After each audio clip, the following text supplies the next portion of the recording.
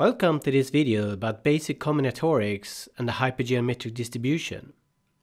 In this video we'll look at permutations with or without replacement, as well as combinations without replacement. At the end of this video we'll have a look at the hypergeometric distribution. The word combination is used when we do not care about the order of things, whereas the word permutation is used when the order of things matters. As an example, we here have a box with four balls. We will now draw four balls with replacement. This means that we draw a ball and store its number here. And then we put it back or replace it with an identical ball. Then we draw a new ball and a new. Note that since we put the balls back in a box, it is possible to draw the same ball several times. Finally, we happen to draw ball number 4. So, how many possible sequences of numbers can we get if we draw 4 balls?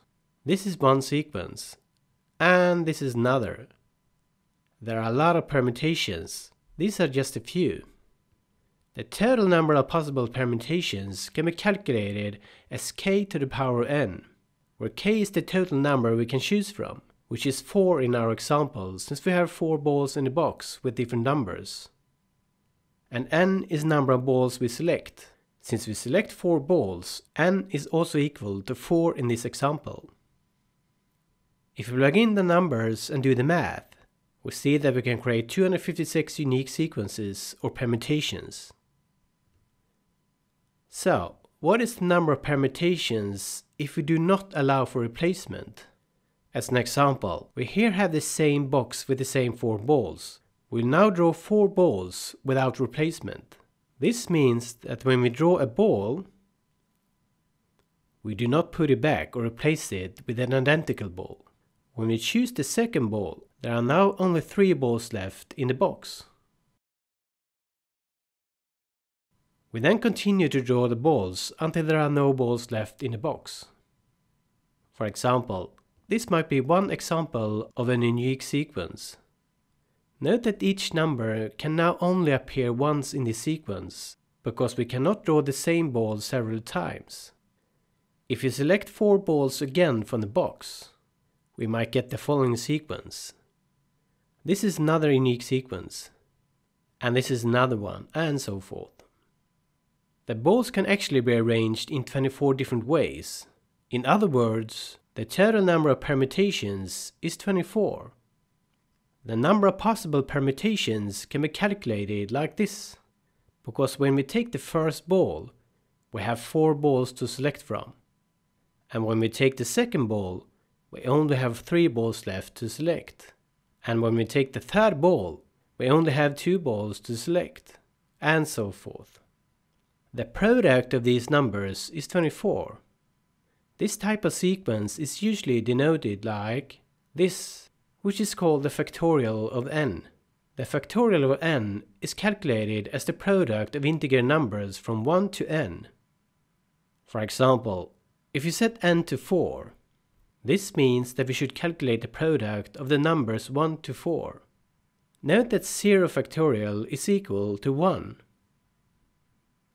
We'll now have a look at another example in this case, we have a box with the same four balls as in our previous example, but we will only select two out of the four balls. We'll therefore randomly draw two balls without replacement. We first choose one random ball from the box, and then select a second ball out of the three balls that are left in the box. This is one set of arrangement that can be obtained.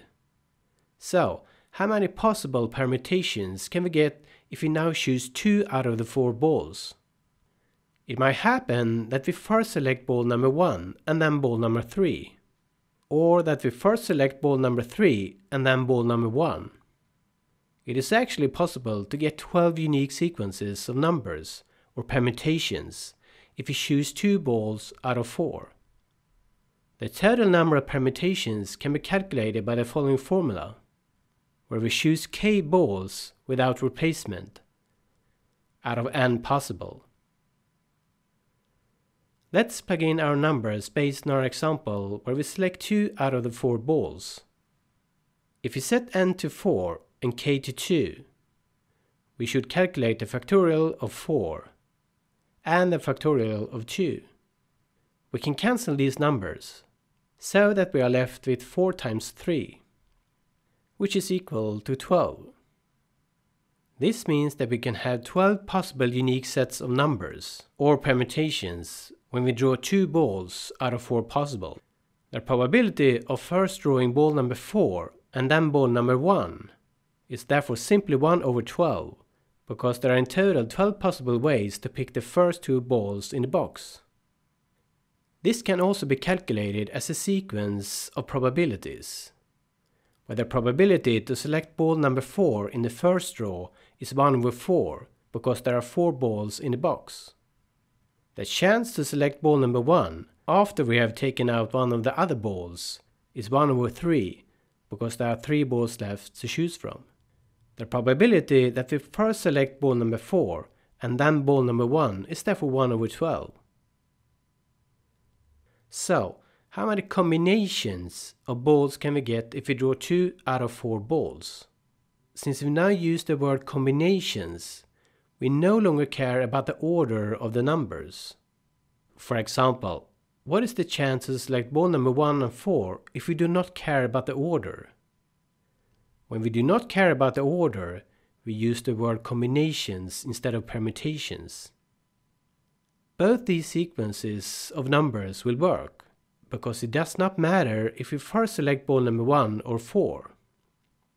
Since two permutations out of the 12 possible will result in that we pick ball number 1 and 4, the probability to get these two balls is 2 over 12.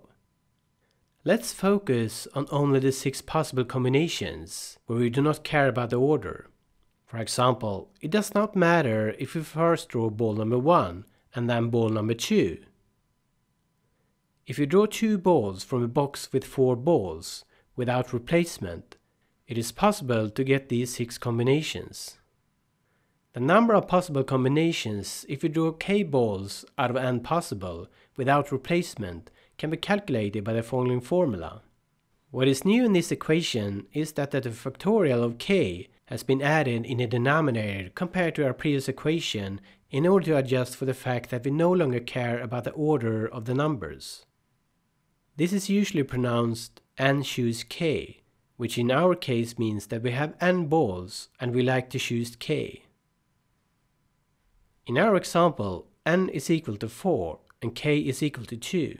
If we do the math, we see that there are six combinations or six possible pairs of balls that can be drawn when the order does not matter.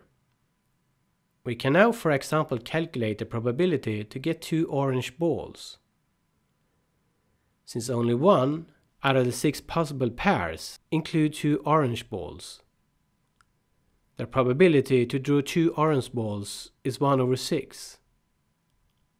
The probability to draw an orange ball in the first draw should be 50% because in the first draw there are two orange balls and two green balls.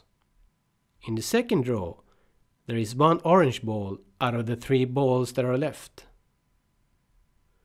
The probability to draw balls with a certain color can be calculated by the following formula, which is used to define the hypergeometric distribution. n is the total number of balls we have in a box, which is 4 in our example.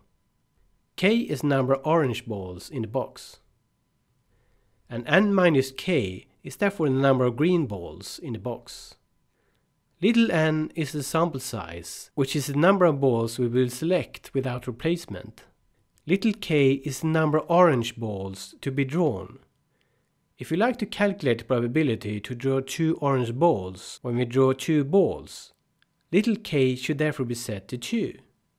Little n minus little k is therefore the number of green balls to be drawn. Since we should calculate the probability to draw two orange balls, the number of green balls to be drawn should be equal to 0. Note that k cannot be bigger than n, because it would for example be impossible to draw three orange balls if we only draw two balls. Let's plug in our numbers. 4 choose 2 is equal to 6. The denominator therefore tells us the number of combinations that are possible.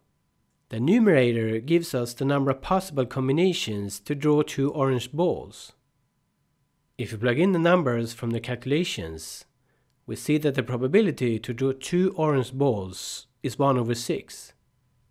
If we instead would like to calculate the probability to draw one orange ball and one green ball, we set little k to 1.